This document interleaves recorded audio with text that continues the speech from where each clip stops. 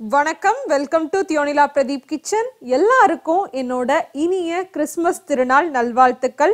இந்த கிறிஸ்மஸ் ஸ்பெஷலாக நம்ம வந்து ப்ளம் கேக் எப்படி பண்ணுறதுன்னு தான் பார்க்க போகிறோம் அதுவும் ஹோல் வீட் ஃப்ளார் அதாவது கோதுமை மாவு யூஸ் பண்ணி எப்படி பண்ணுறதுன்னு பார்க்க போகிறோம் ப்ளம் கேக் எப்பயுமே பார்த்தீங்க அப்படின்னா ஒயின் அப்படி இல்லைன்னா வந்து பிராண்டி இந்த மாதிரி இதில் ஊற வச்சு தான் நம்ம வந்து பண்ணுவாங்க. ஒரு மாதத்துக்கு முன்னாடியே வந்து ஊற வச்சிருவாங்க. பட் இந்த கேக் வந்து நீங்கள் இன்ஸ்டண்ட்டாக பண்ணலாம். உடனே முடிவு பண்ணி நீங்கள் வீட்டில் இருக்க இன்க்ரீடியன்ஸ் வச்சே பண்ணலாம். உங்கள்கிட்ட வந்து இந்த கருப்பு திராட்சை அப்புறம் வந்து பார்த்தீங்கன்னா நம்ம வீட்டில் இருக்குல்லையா மஞ்சள் திராட்சை உலர் திராட்சை அதெல்லாம் இருந்துச்சுனாவே போதும். இந்த கேக் ரொம்ப சுலபமாக பண்ணலாம். இப்போ வாங்க இந்த சுவையான கோதுமை ப்ளம் கேக் எப்படி பண்ணுறது அப்படின்றத வீடியோவில் போய் பார்க்கலாம். கேக்கோட எல்லா மெஷர்மெண்ட்டுமே வந்து நான் டிஸ்கிரிப்ஷன் பாக்ஸில் கொடுத்துருக்கேன். அதை பார்த்துக்கோங்க. ஃபஸ்ட்டு வந்து பார்த்தீங்கன்னா இது இன்ஸ்டண்ட்டாக பண்ண போகிற கேக் அப்படின்றனால நம்ம வந்து இந்த ட்ரை ஃப்ரூட்ஸ்லாம் இருக்கு இல்லையா அதெல்லாம் வந்து சுகரோட சேர்த்து வந்து கொஞ்ச நேரம் கொதிக்க வைக்கணும். அப்போ தான் வந்து இன்ஸ்டண்ட்டாக பண்ணுறப்ப அந்த ட்ரை ஃப்ரூட்ஸ்ல எல்லாம் சுகர் இறங்கி கொஞ்சம் டேஸ்ட் நல்லா இருக்கும். இப்போ வந்து பார்த்தீங்கன்னா அதுக்கு வந்து நான் ஃபஸ்ட்டு வந்து ஒரு சாஸ் பேனில் வந்து முக்கால் கப் அளவு ப்ரௌன் சுகர் எடுத்திருக்கேன். இது வந்து நம்ம கேக்குக்கு நல்ல கலர் கொடுக்கும். அப்படி உங்கள்கிட்ட ஒயிட் சுகர் தான் இருக்குன்னா அதை கேரமலைஸ் பண்ணி சேர்த்துக்கணும். ப்ரௌன் சுகர் வந்து நான் முக்கால் கப் எடுத்திருக்கேன். இது ஸ்வீட் வந்து கொஞ்சம் கம்மியாக தான் இருக்கும். உங்களுக்கு வேணும் அப்படின்னா ஒரு கப் சேர்த்துக்கோங்க. ஒரு கப் தான் வந்து கரெக்டான அளவு ஸ்வீட்டில் இருக்கும். எனக்கு அவ்வளோ ஸ்வீட் வேணாம் அப்படின்றனால நான் கம்மியாக சேர்த்துருக்கேன். அப்புறம் ஒரு அரை கப் அளவு நம்ம வீட்டில் இருக்குல்ல அந்த மஞ்சள் திராட்சை அதான் கிறிஸ்மஸ் பழம் அது சேர்த்துருக்கேன்.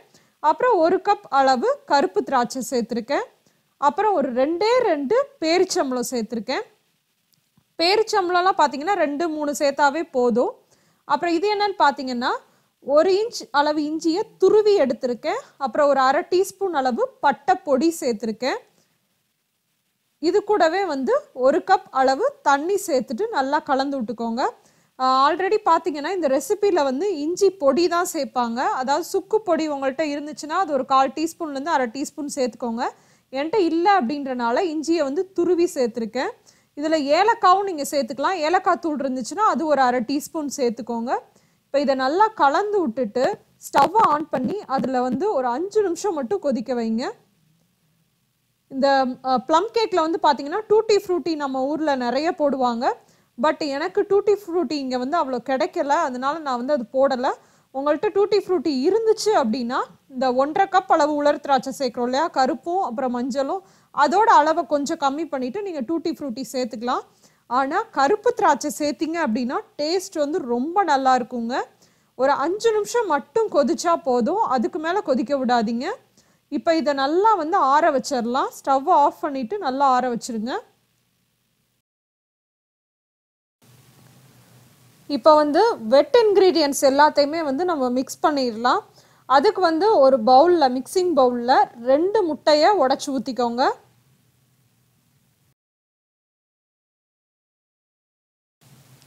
இப்போ அந்த ரெண்டு முட்டையும் நல்லா விஸ்கு வச்சு வந்து நல்லா பீட் பண்ணிக்கோங்க.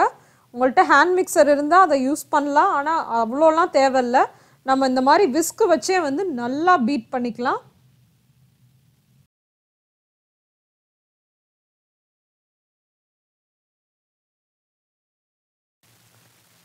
அடுத்து முட்டை கூடவே பார்த்தீங்கன்னா நான் வந்து ஆயில் சேர்க்க போகிறேன் கால் கப் அளவு ஆலிவ் ஆயில் எடுத்திருக்கேன். Extra virgin olive oil use பண்ணக்கூடாது. ரீஃபைண்ட் ஆலிவ் ஆயில் நான் யூஸ் பண்ணியிருக்கேன். பேக்கிங்க்குன்னு அதில் போட்டிருக்கான்னு மட்டும் பார்த்துக்கோங்க உங்கள்கிட்ட ஆலிவ் ஆயில் இல்லை அப்படின்னா சன்ஃப்ளவர் ஆயில் கெனோலா ஆயில் இந்த மாதிரி எது வேணாலும் யூஸ் பண்ணிக்கலாம். அப்படி இல்லைன்னா கேக் நல்லா வந்து டேஸ்ட்டாக வரணும்னு நினச்சிங்கன்னா பட்டர் கூட கால் கப் வந்து யூஸ் பண்ணிக்கலாம். அப்புறம் அது கூடவே வந்து பார்த்தீங்கன்னா ஒரு ஒரு டீஸ்பூன் அளவு வெண்ணிலா எசன்ஸ் அல்லது வெண்ணிலா எக்ஸ்ட்ராக்ட் சேர்த்துக்கோங்க. சேர்த்துட்டு இதையும் நல்லா பீட் பண்ணி நல்லா கலந்து வச்சுக்கோங்க.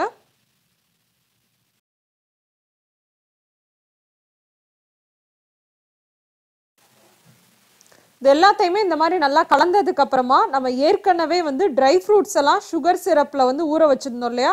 அது நல்லா ஆறுனதுக்கு அப்புறமா இந்த முட்டையோட சேர்த்துக்கோங்க. சூடாக இருக்கப்ப சேர்த்திங்க அப்படின்னா முட்டையெல்லாம் வெந்து ஒரு மாதிரி திரள் திரளாக ஆயிரும். அதனால நல்லா ஆற வச்சுக்கோங்க. க ஒரு அரை மணி நேரத்துக்கு மேலே நல்லா ஆறுனதுக்கு அப்புறமா இந்த முட்டையோட சேர்த்து அதை நல்லா மிக்ஸ் பண்ணிக்கோங்க.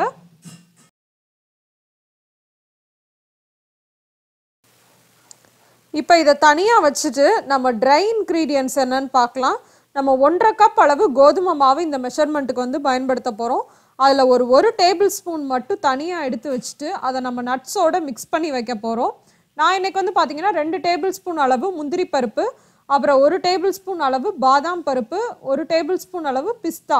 இது எல்லாத்தையுமே பொடி பொடியாக நறுக்கி வச்சுருக்கேன். இதை நல்லா அந்த ட்ரை மாவோட வந்து மிக்ஸ் பண்ணி வச்சுருங்க.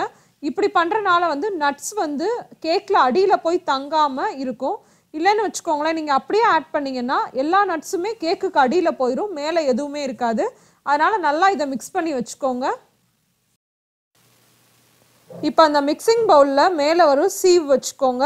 வச்சுட்டு அதில் ஒன்றரை கப் அளவு கோதுமை மாவை சேர்த்துக்கோங்க. அது கூட வந்து பார்த்தீங்கன்னா பேக்கிங் சோடா ஒரு டீஸ்பூன் அப்புறம் ஒரு அரை டீஸ்பூன் அளவு உப்பு. உப்பு கண்டிப்பாக சேர்த்துக்கணும். அப்போ தான் வந்து சுகரை வந்து பேலன்ஸ் பண்ணும். அதையும் சேர்த்துக்கோங்க. சேர்த்துட்டு நல்லா ஜலிச்சுக்கோங்க. இப்படி செய்கிறனால தான் ட்ரை இன்க்ரீடியன்ஸ்லாம் ஒன்றோட ஒன்று நல்லா மிக்ஸ் ஆகும்.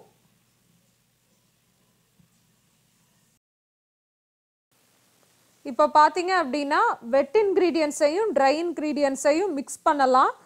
பார்த்தீங்கன்னா இந்த மாதிரி வந்து ஒரு ஸ்பேச்சுலா எடுத்துக்கோங்க. எடுத்துட்டு அதை ஃபோல்ட் பண்ணி ஃபோல்ட் பண்ணி நான் பண்ணுற மாதிரியே மிக்ஸ் பண்ணுங்கள் அப்போ தான் வந்து கேக் சாஃப்டாக வரும். ரொம்ப வந்து அழுத்தி அதை கிண்டணும் அப்படின்னா வந்து கேக் வந்து சாஃப்டாக வராது. இந்த மாதிரி மெதுவாக மிக்ஸ் பண்ணி ஃபுல்லாத்தையுமே கலந்து வச்சுக்கோங்க.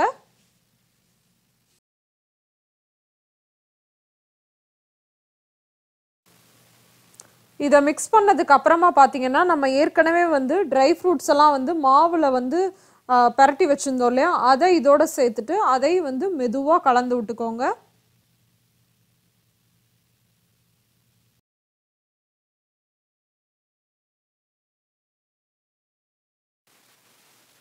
கேக் வந்து மிக்ஸ் பண்ணிட்டு இருக்கப்பவே பார்த்தீங்கன்னா நான் வந்து அவனை ஒன் எயிட்டி டிகிரி செல்சியஸ் அல்லது முந்நூற்றம்பது டிகிரி ஃபேரன் ஹீட்டுக்கு வந்து நான் ப்ரீ ஹீட் பண்ணி வச்சுருக்கேன். இப்போ இதை வந்து நம்ம வந்து ஒரு ட்ரேக்கு மாற்றிடலாம் அதாவது பேக்கிங் ட்ரேக்கு மாற்றிடலாம் இது வந்து பார்த்தீங்கன்னா நான் பிரெட் பேன் இருக்கு இல்லையா லோஃப் பேன் அதுதான் எடுத்திருக்கேன். நீங்கள் ரவுண்டு கேக் டின் இருக்கும் இல்லையா அது கூட எடுத்துக்கலாம். அதில் வந்து கேக் பேட்டரை மாற்றிக்கோங்க இந்த பேட்டர் வந்து பார்த்தீங்கன்னா இந்த மாதிரி தான் இருக்கும். ஸ்மூத்தாக இருக்கும் ஆனால் கொஞ்சம் கெட்டியாக இருக்கும். இப்போ இது எல்லாத்தையுமே இந்த கேக் டின்னுக்கு மாற்றிடலாம் இந்த கேக் டின்ல பார்த்தீங்கன்னா ஒட்டாமல் வரணும் அப்படின்றதுக்காக அடியில் வந்து நான் பார்ச்மெண்ட் பேப்பர் போட்டிருக்கேன். சைட்ல எல்லாம் வந்து ஆயிலும் அப்புறம் வந்து கொஞ்சம் வர மாவு இருக்குல்ல அதாவது கோதுமை மாவு தான். அந்த ட்ரை ஃப்ளாரை வச்சு வந்து டஸ்ட் பண்ணியிருக்கேன். அப்போ வந்து கேக் எடுக்கிறப்ப ஒட்டாமல் வரும்.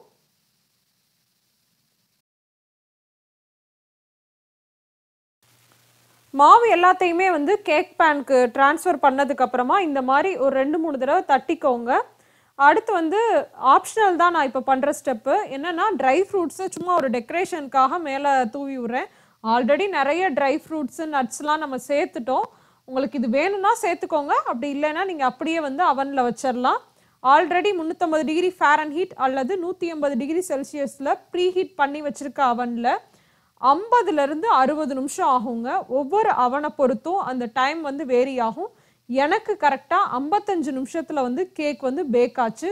ஸோ நீங்கள் ஒரு நாற்பத்தஞ்சு நிமிஷம் இருக்கப்பவே ஓப்பன் பண்ணி பாருங்கள் ஸ்கியூவரை நடுவில் இன்சர்ட் பண்ணி பாருங்கள் ஏதாச்சும் ஒரு நைஃப் இருக்கு இருந்துச்சுன்னா கூட அதை நடுவில் இன்சர்ட் பண்ணி பாருங்கள் அது மாவெல்லாம் ஒட்டாமல் வெளியில் வந்துச்சு அப்படின்னா கேக்கை நீங்கள் அப்பயே எடுத்துடலாம் அப்படி இல்லைன்னா இன்னும் ஒரு அஞ்சு நிமிஷம் கழித்து செக் பண்ணி பாருங்கள் எனக்கு கரெக்டாக ஐம்பத்தஞ்சு நிமிஷத்தில் கேக் வந்து சூப்பராக பேக் ஆகி வந்திருக்கு. இப்போ இதை நம்ம கட் பண்ணி எப்படி இருக்கு அப்படின்னு பார்க்கலாம்.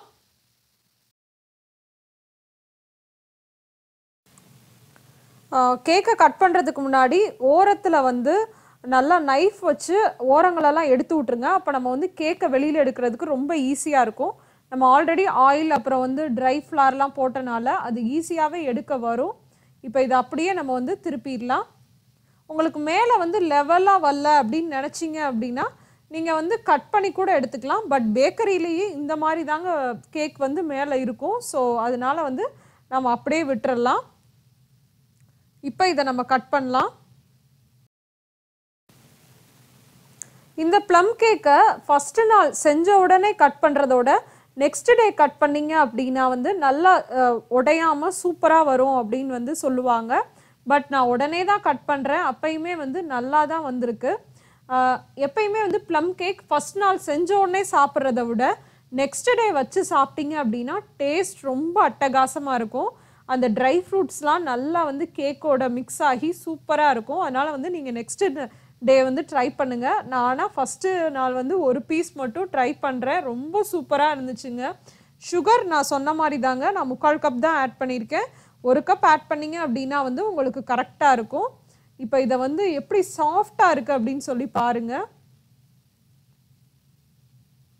எவ்வளோ சாஃப்டாக இருக்குது பார்த்தீங்களா?